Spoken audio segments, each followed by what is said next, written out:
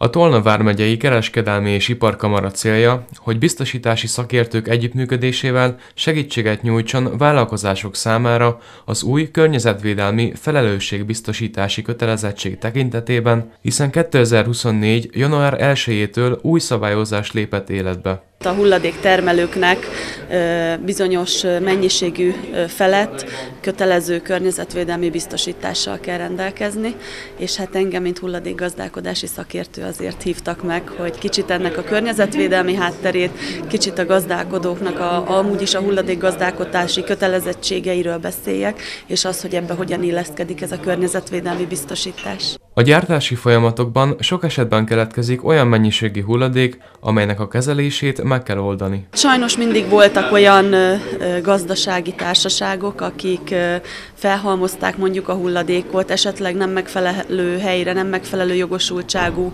hulladékkezelőnek adták át, és ezek ugye a későbbiekben előfordulhat, hogy illegális hulladéklerakássá váltak, vagy éppen egy-egy telephelyen fel, felhalmozottak, és hát ezt most ez az egyik kormányzati szándék, hogy legyen egy olyan pénzügyi biztosíték, egy olyan biztosítás, amiben ezeket a hulladékokat fel lehet számolni, amit esetlegesen egy gazdasági társaság, illetve egy hulladéktermelő hátrahagy.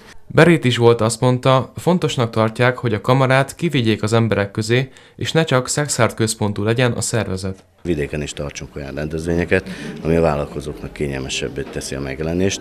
Ennek az első állomása Bonyhát, köszönjük szépen Filóné Ferenci a polgármester asszonynak, hogy lehetővé tette a helyszínt és további állomásaink azok Tamási és Dombovár lesznek, tehát kifejezetten azt szeretnénk, hogyha azt a vízfejet, azt a szexádi vízfejet meg lehetne szüntetni, és helyette több meghatározó városba, megyei városba tudnánk vinni ezeket a rendezvényeket.